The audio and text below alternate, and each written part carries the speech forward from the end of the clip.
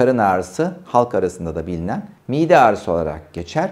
Karnın üst orta kısımdaki ağrılardır. Biz oraya epigastrik bölge deriz ama orada sadece mide yoktur.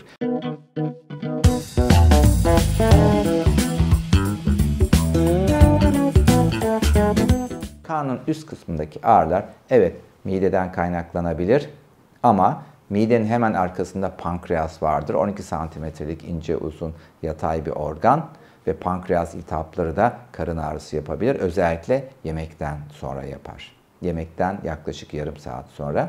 Bir de karında sağ tarafta safra kesesi vardır. Safra kesesi taşı ve safra kesesi hastalıkları da karın ağrısı yapar. Ama ilk başta karnın orta üst kesiminde yapar. Sonradan sağ tarafa yerleşir.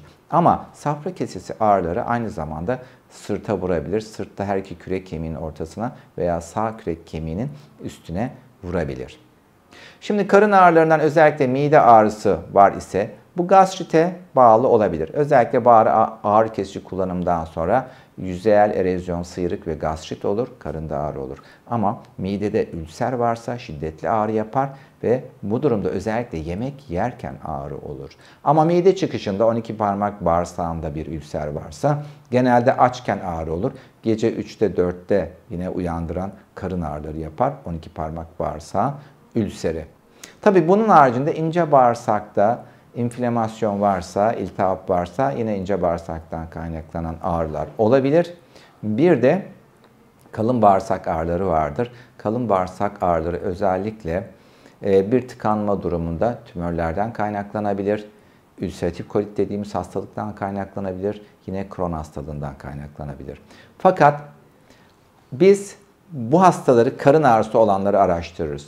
Kan testleri yaparız öncelikle. Sonra endoskopik incelemeler yaparız. Mideye bakarız, kalın bağırsağa bakarız endoskoplarla. Ultrason yaparız, safra kesesine bakarız, pankreasa bakarız. Olmadı tüm vücut MR çekeriz. Ama halen ortaya koyamadıysak çok atlanan bir hastalık vardır. Hasta yıllarca doktora gider, bir türlü halledilemez. Karın ağrıları devam eder. Kimisi psikojenik denir ama kron hastalığı vardır. İşte kron hastalığının özellikle yüksek ince bağırsak tutulumlu olanlarının ortaya koymak oldukça zordur.